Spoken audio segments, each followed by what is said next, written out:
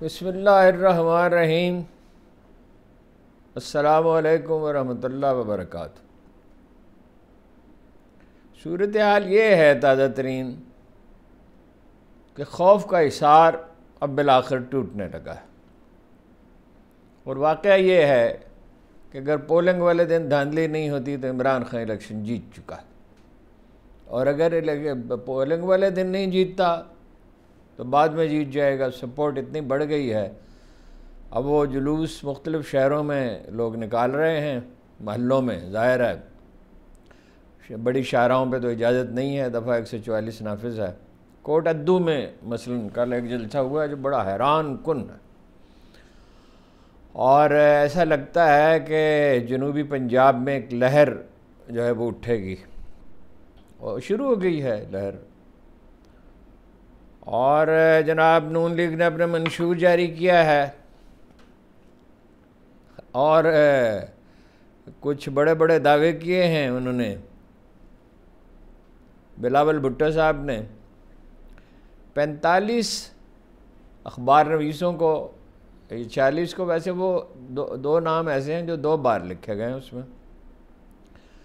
उनको जनाब F I A notice जारी कर रही है अदालतों के ख़िलाफ़। बात करने पे, सोशल मीडिया पे।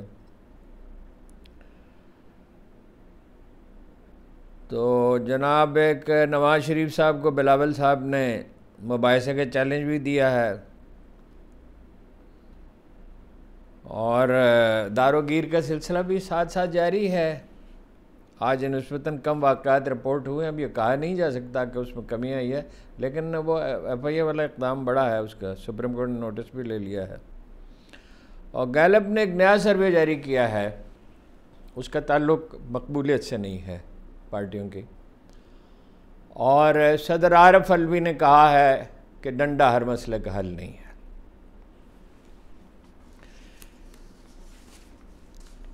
देखिए पीटीआई के कारकुन जो हैं, अब अब बिलाखिर रिस्क लेने के लिए तैयार। वो बाहर निकल रहे हैं। तैयारी तो ज़ाहिर है पहले से होती है, लेकिन अचानक वो नमदार होते हैं किसी मोहल्ले में। और परचम उड़ाते हुए, लहराते हुए उसके, और कुछ देर के बाद वो गायब हो जाते हैं। अब पुलिस हर जगह तो नहीं पहुँच सकती, ज़ाहिर है। कहाँ कहाँ पुलिस भेजे, देहात में तो बिल्कुल ही मुश्किल है। एक थाने का इलाका बड़ा वसी होता है।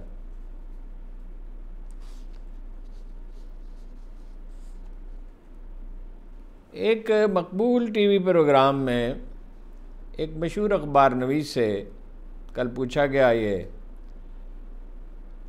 कि उनका तासर पूछा गया इलेक्शन के नतज के बारे में तो उन्होंने कहा, मैंने जीटी रोड पर ट्रैवल किया है और मुझे कहीं कोई ऐसी जगह नहीं मिली जहाँ नून लीग की एक तरफ़ हर कहीं पी टी आई बिल्कुल वाज अल्फाज में उन्होंने कहा, हर कहीं P T I Istehkam Pakistan party के जो लाहौर में मुमताज़ तरीन उम्मीदवार हैं, उनके मैनेजर्स में से एक साहब कल एक एडिटर से मिलने के लिए गए।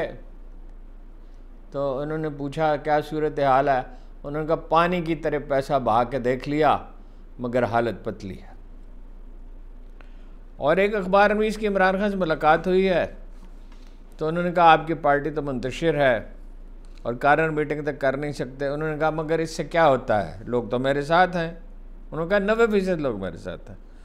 और आप देख लेंगे नतीजा क्या होगा। जहाँ तक पख्तूनखा का ताल्लुक है, वो तो उबल रहा है। पीटीआई की हमायत में। मौलाना फजल रहमान की पोजीशन बहुत ज़्यादा ख़राब है, इसलिए वो, उन्होंने बलूचिस्तान का रुख किया है। और उसकी वजह पै दर पै स्कैंडल्स हैं, और उनके गवर्नर साहब के इकदाम हैं, और इमरान खान के किरदार को है। उसने मुतहरक कर दिया है, बजाय इसके कि लोग इससे खौफजदा होते ही उन्हें फ़ायदा होता। इसके नतीजे में ये पश्तों का मुहावरा है कि पश्तून दलील पर नहीं, ताने पर पलट कर आता है। ये जो उन्होंने तासुर देने की कोशिश की और जो जिस तरह की गुफ्तु करते हैं यहूदियों के एजेंट हैं और ये अभी तक उसको दोहराया जा रहा है, उन्हें अंदाज़ा नहीं है इसका किस कदर नुकसान हो रहा। और उनके ज़ाती स्कैंडल्स भी हैं। कबायली इलाके की बहुत ख़ास वजूहत हैं। सादा अल्फाज में ये पश्तूनों ने नया खान चुन लिया है अपना। और इसकी अहमियत इतनी नहीं है पख्तूनख्वा जितनी कराची में पश्तून हैं। अब लाहौर में, रावलपिंडी में, मुल्तान में पश्तूनों की आबादी का तनासब बहुत बढ़ गया है। दूसरे ये कि पंजाबी उसे उन करता है, वो पंजाबी है, पंजाब में रहता है, नस्लन पश्तून है।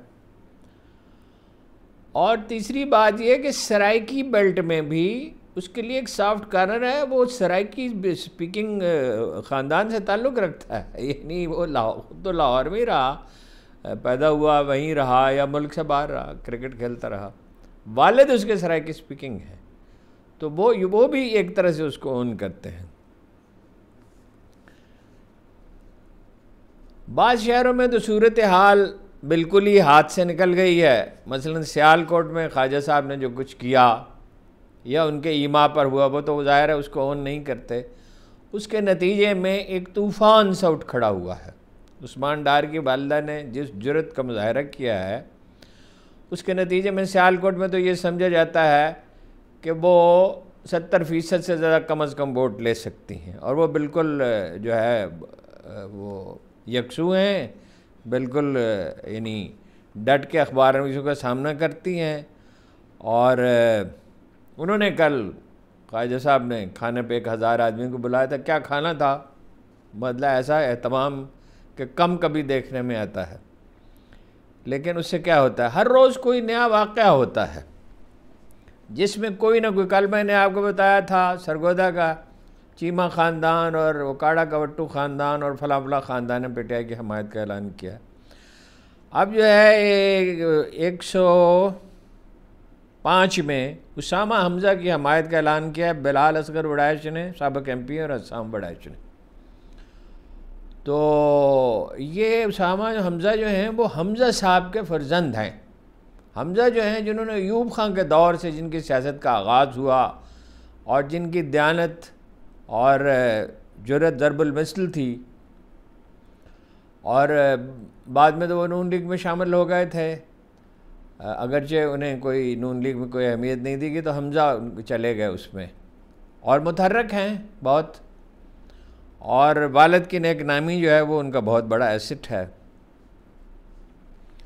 इमरान खान बहुत पुरमाद नज़र आते हैं। आज बड़ा अफसोसनाक वाक़ हुआ कि सरकारी वकील मुकर कर दिए गए, उनके वकील पहुँचे नहीं इमरान खान के। और ज़ाहिर है वकील वक्त हासिल करने की कोशिश करते हैं तो सरकारी वकील मुकर कर दिए गए। इस पर शाह महमूद इतने गुस्से में आए कि वो केस की फ़ाइल ही उछाल दी वकीलों की तरफ़। और इमरान खान ने भी कहा, ये कोई मज़ाक है? वो यानी तगाज़ा के वकील भी सरकारी हों और डिफेंस के वकील भी सरकारी हों। ये क्या मज़ाक हो रहा है? और हम इन्हें जानते तक नहीं हैं। ये भी कहा कि नजम सेठी साहब ने फरमाया है, इरशाद किया है। पाँच फरवरी साइफर केस का फैसला हो जाएगा। वैसे उनके वकील ने भी कहा इस्तगासा के वकील ने भी कहा कि हम सजाए मौत की या उम्र कैद की, की अदालत से इस्तदा करेंगे। सुप्रीम कोर्ट में नैब का वकील वकील कोई ये नहीं खुद मान गया तकरीबन कि ये ऐसा केस है जिसमें दो साल की से ज़्यादा की सज़ा नहीं हो सकती। और इमरान खान कहा भी कि मैं कोई क्लर्क हूँ वज़ी अजम हूँ। केस तो इतना ही है ना कि वो एक नकल थी। जो वो उन्होंने मांगी और नहीं दी, बाकी तो वो डिफेंस कमेटी ने उस पर एहतजाज किया है। तो क्या वो सज़ा का मेरा ख्याल सिर्फ़ ऐलान हो सकता है और डिमारलाइज करने के लिए कि वोटर उसके बाहर ना निकलें, लेकिन उसका उल्टा असर भी हो सकता है। खैर, उन्होंने कहा कि ये उसको नजम सेठी को बुलाया जाए और पूछा जाए कि क्या मैच फिक्स है? उन्हें किसने इतला दी है? इस पर जज साहब ने कहा कि आपको नजम सेठी पर अतमाद है या अदालत पर? आरफ अलवी साहब ने कहा कि डंडा हर मसले का हल नहीं है। और कुरान मजीद ये कहता है कि कानून जो है वो उसकी बुनियाद इंसाफ पे होनी चाहिए और काजी का काम कानून पे अमल करना है। जिस आयत का मेरा ख्याल उन्होंने हवाला दिया वो वो, वो है वला तजरमन्नकुम शनान कौम अल्लाह तादलु एदलु हुआ अकरबुल तकवा। किसी कौम की दुश्मनी तुम्हें ना इंसाफ किसी कौम से मुराद यहाँ ग्रोह है। किसी ग्रोह की दुश्मनी तुम्हें ना इंसाफी पे आमादा न करो। इंसाफ करो कि यही तकबा है। पीटीआई के हल्के ये अंदेशा ज़ाहिर कर रहे हैं कि आठ मई तक तीन चीज़ें हो सकती हैं। इमरान खान के मुकदमे में सज़ा हो सकती है। सोशल मीडिया पे हरासा किया जाएगा लोगों को। और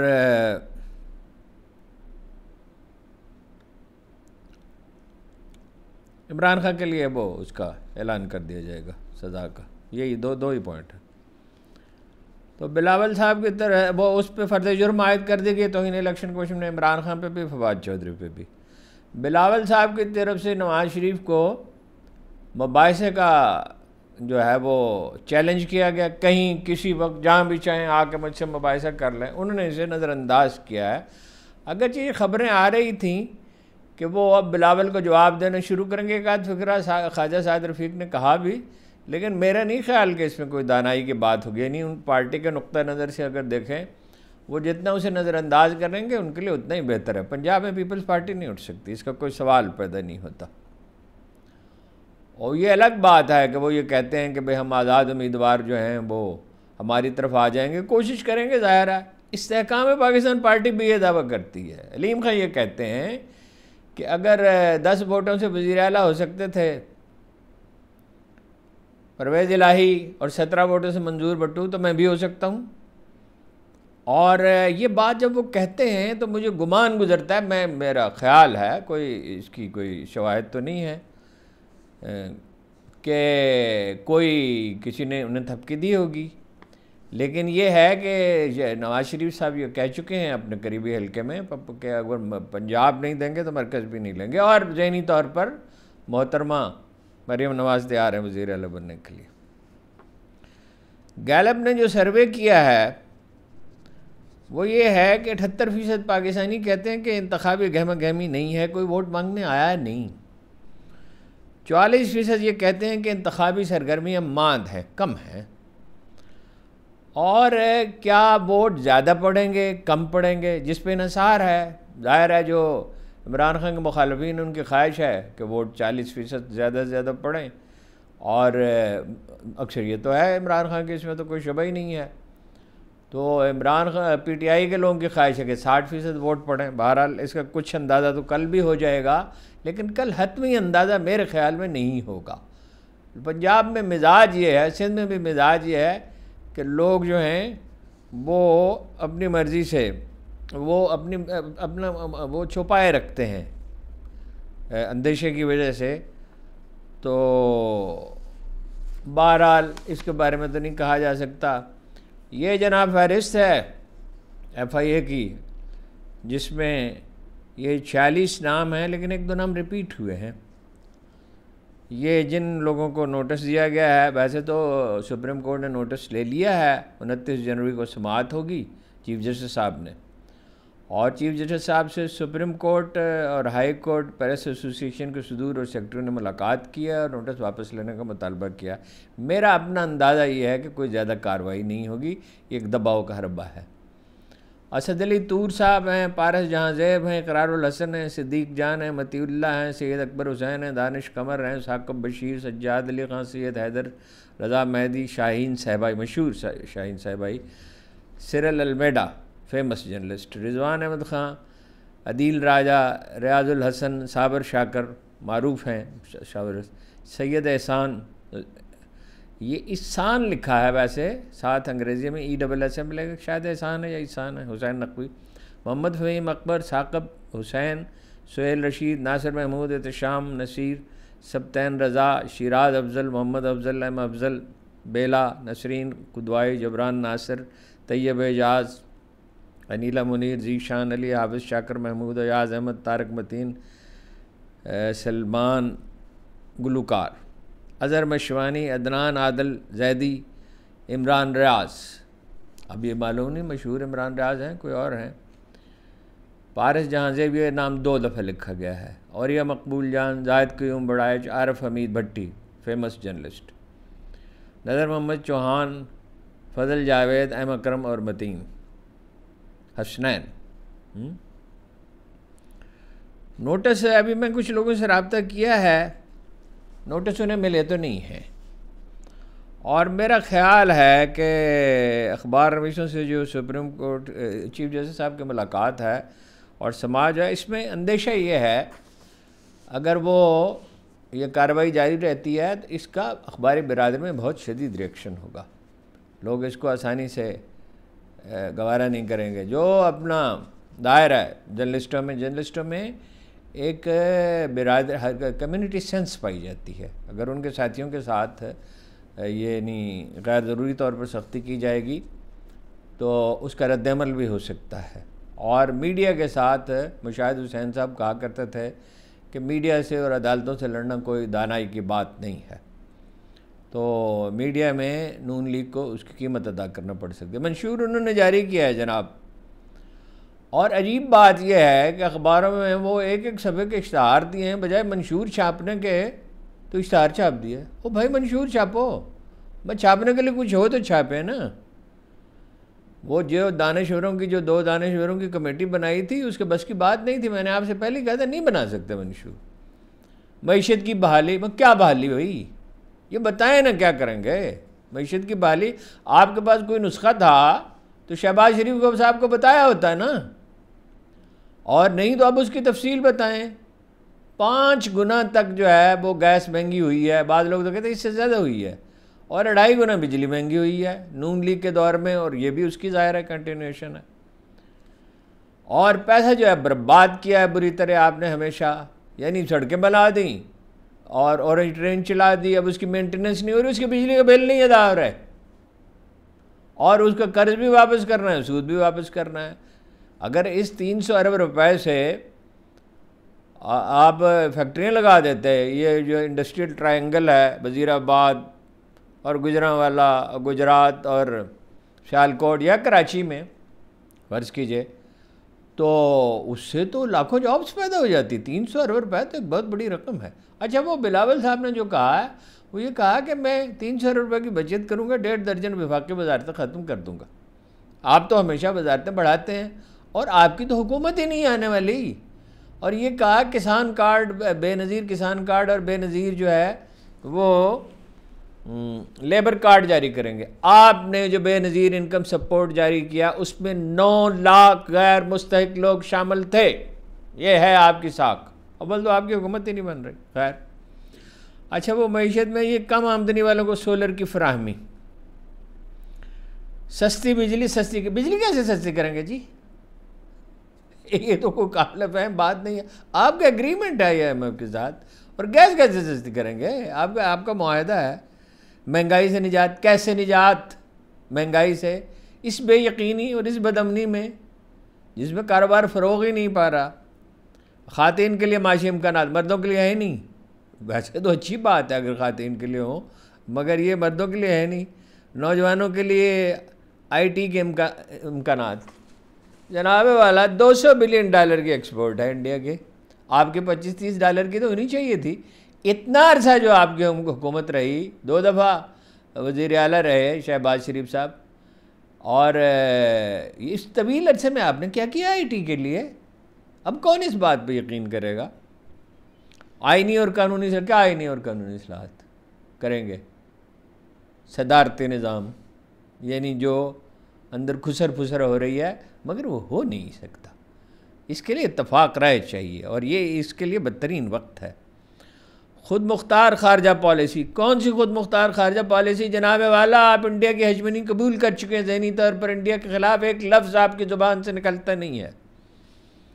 और महफूज आबी मुस्तबिल किस तरह? बताइए। शायद मेरे जैसा एक आम आदमी भी जिसने इस पर कुछ ना कुछ काम किया, वो बता सके। नवाज़ शरीफ साहब ने क्या बताना है इस पर हैं जी? ये करना होता, कोई तो इब्तदाई इकदाम किए होते आपने कभी। और जनाब अली जदीद ज़रात और माहौलियात का भी। माहौलियात क्या है? आप मुँह से फूटते क्यों नहीं कि इतने दरख्त लगाएँगे? ये सारा पोठवार पड़ा हुआ खाली। हुँ? हम्म? और थर में हो सकती है, चोलिस्तान में हो सकती है, शजरकारी ऐसे दरख्त हैं, खजूर लगाने का तजुर्बा कामयाब हो चुका है। थर में तो हर तरह की फ़सलें हो रही हैं एन ने जो काम किया है। तो आप उसको कोई तफसील भी बताएँ या ये सिर्फ़ बातें करते रहेंगे? बाकी जनाब दारोगीर का सिलसिला जारी है। शाह महमूद ने भिन्ना कर कहा कि 125 साल में मेरे घर में अंग्रेज़ी दौर भी है और सिखों का भी कोई हमारे 125 साल पुराने घर में कभी कोई दाखिल नहीं हुआ था। और शहजाद फारूक साहब जो जो मरीम नवाज़ के मुकाबले में इलेक्शन लड़ रहे हैं, उनसे कहा गया, वो कहते हैं, मुझसे कहा गया कि दस्तबरदार हो जाएँ तो आपका भाई रिहा कर दिया जाएगा, वजारत की भी पेशकश की और अहदों की भी पेशकश की, हमने इनकार किया। तो फिर कार्रवाई जो है वो शुरू हो गई। गुजरात में पीटीआई के तर्जमान ने कहा है कि रियासी मशीनरी का बेदरेग इस्तेमाल हो रहा है। ऐसा लगता है कि मोहसिन नकवी साहब ने पुलिस को लूट मार का लाइसेंस दे रखा है। डिंगा से उन्होंने कहा, हमारे मुतरक कारकुनों, कदीर मदनी और उस्मान बशीर और अली समेत कई को गिरफ़्तार कर लिया गया। रावलपिंडी में तो ये वाक़ भी हुआ, सिर्फ़ एक झंडा लहराया गया रावलपिंडी की कमर्शियल मार्केट बहुत मसरूफ़ मार्केट बहुत। तो उस पर जनाब पुलिस चढ़ दौड़ी उन पर इमरान खान मैं दोहराता हूँ, इमरान खान ये इलेक्शन जीत चुके। वो मुतशक्ल होगा आठ फरवरी को और नौ फरवरी को या बाद में होगा। और मैं दोहराता हूँ कि कोई हल ही नहीं है इसके सिवा कि बातचीत की जाए कशीदगी ख़त्म की जाए और मुनसिफाना इलेक्शन हो। इस इलेक्शन को कौन मानेगा जी? पहली बात तो ये है एक पार्टी को यानी जजों तक ने तो कह दिया एक नहीं दो जजों ने। जैसे नसरुमिन अल्लाह ने तो कल बिल्कुल वादे कहा कि एक ही पार्टी हदफ है। गोया तो, तो चार शीट ही कर दिया। और बाकी भी आप देख रहे हैं कि एक पार्टी प्रेस कॉन्फ्रेंस नहीं कर सकती, कारण मीटिंग नहीं कर सकती जल से जुलूस नहीं कर सकती। इस इलेक्शन को कौन मानेगा जी? इलेक्शन दोबारा कराने होंगे। आपका बहुत बहुत शुक्रिया।